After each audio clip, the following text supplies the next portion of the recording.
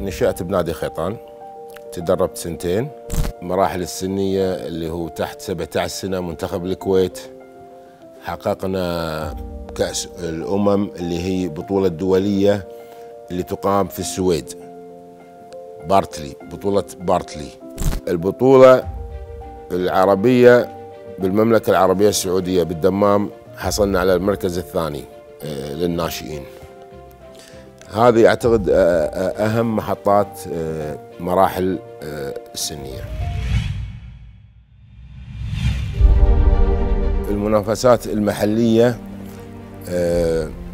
حققنا طبعا على أقوى منافسة اللي هي إحنا نتكلم على الفريق الأول لنادي الفاحيل.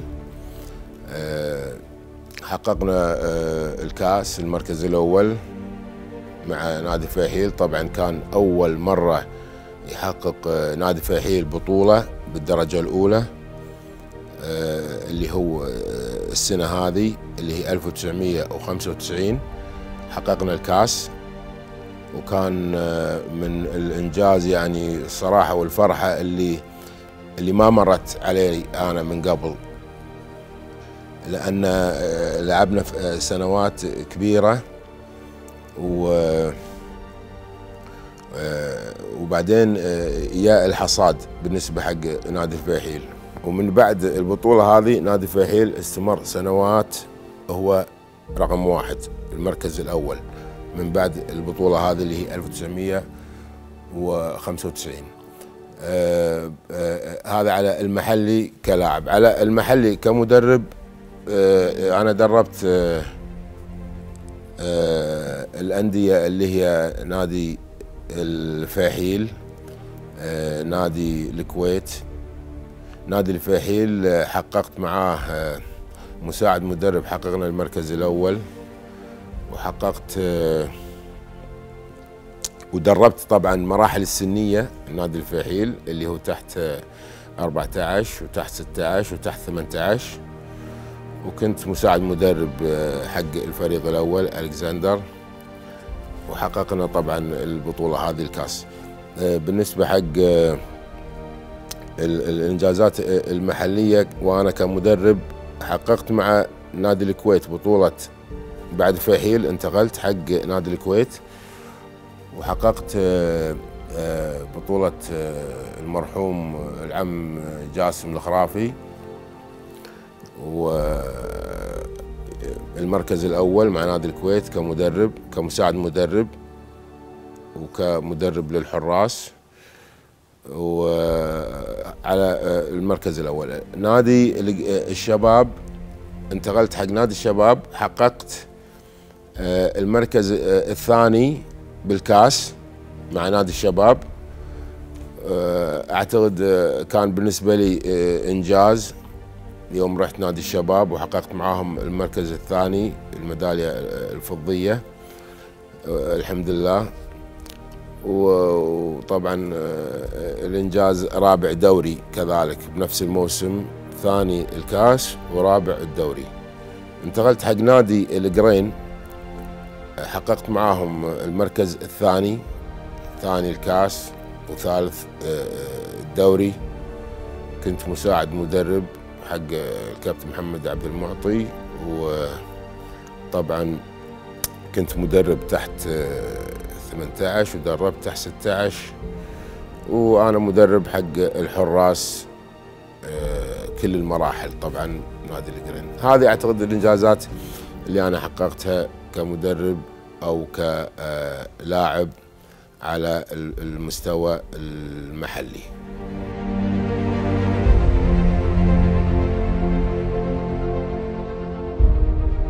إنجازات آه، كثير آه، يعني الصراحه أعتز فيها. أول شيء آه، بطولة كأس الكأس اللي هي كأس الاتحاد اللي هي هذه المركز الأول مع نادي فحيل.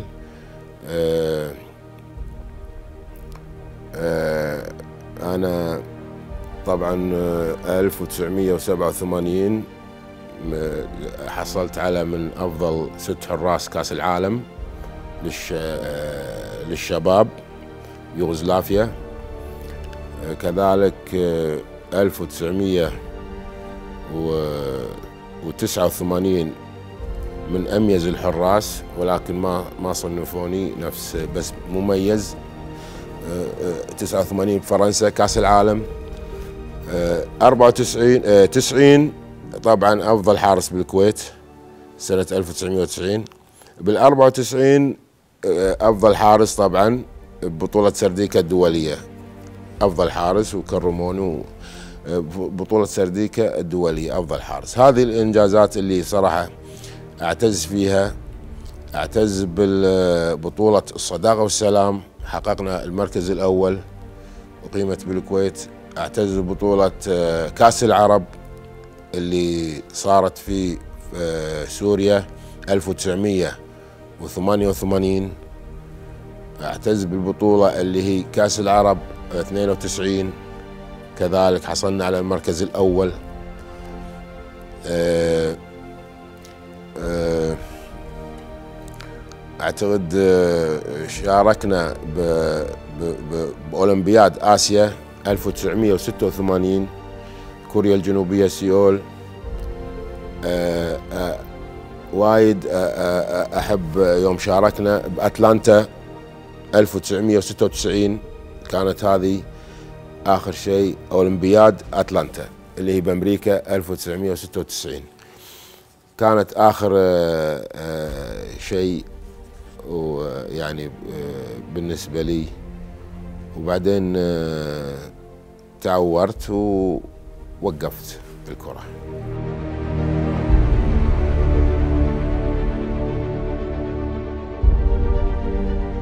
بسنة طبعا 1994 اللي حققت فيه أفضل حارس بطولة سرديكا الدولية بلغاريا.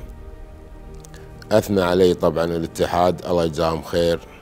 الإخوان ناصر صالح وبدر ذياب وحمد العجيان وجاسم ذياب والأخ عبد الواحد خليل نهار العصفور الشيخ أحمد فهد المبارك الشيخ طلال كلهم يعني كانوا كانت مباراة كرموني بين الجيمين. فكانت يعني كانت بالنسبة لي أفضل مرحلة. فالنادي أصر أن أنا لاعب بهالفترة النادي أصر أني أنا أكون مساعد مدرب مع المدرب ألكسندر اليوغوسلافي بنفس السنة هذه اللي حققت فيها الإنجاز هذا. فأجبروني إني أكون مساعد مدرب مع ألكسندر مدربنا مال النادي مساعد. فوأنا ألعب هني تحولت إلى مساعد مدرب أنا ألعب وأنا أدرب. هذه كانت بداية الانطلاقة إلى التدريب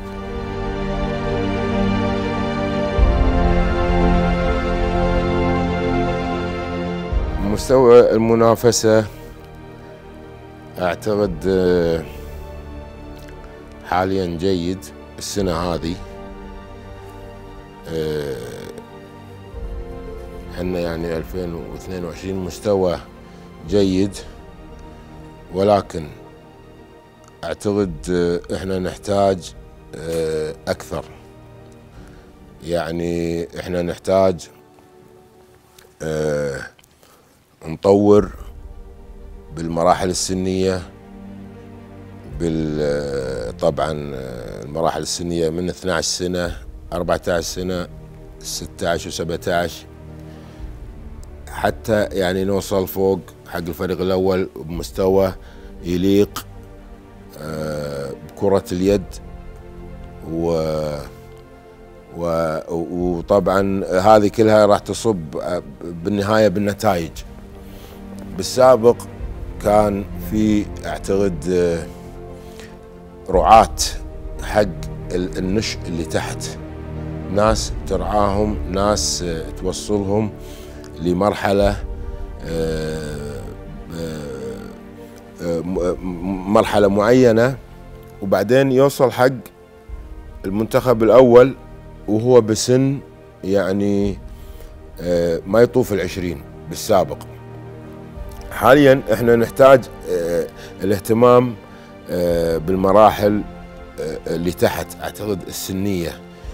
ونبدي بالأندية قبل المنتخبات.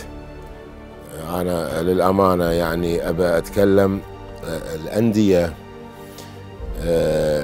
قلل جهدها بالفترة الأخيرة بالسنوات الأخيرة الأندية.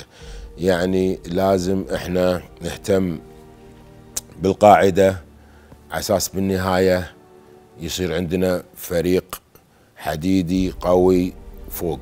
ولكن إذا أنت ما تبني من الأساس تحت ما راح يصير عندك فريق بالنهاية قوي. ولكن انت اهتم بالأساس ادعم الأساس ذيك الساعة راح تلقى شيء آه، آه، ينافس على البطولات العالمية ويرفع علم الكويت بالمحافل الدولية.